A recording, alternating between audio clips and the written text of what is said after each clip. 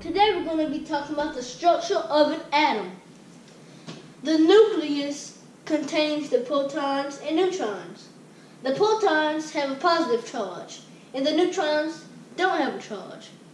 The electrons have a negative charge, and they also orbit the nucleus. Now let's talk about the valence electrons. The valence electrons are outer shell are located on the outer shell of the nucleus. And valence, valence electrons are also responsible for chemical bonds.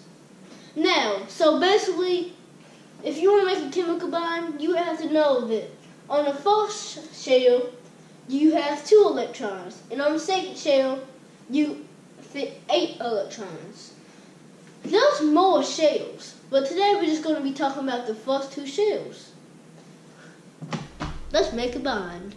Let's look at that oxygen atom. It has six valence electrons, but it needs two more to make a bond.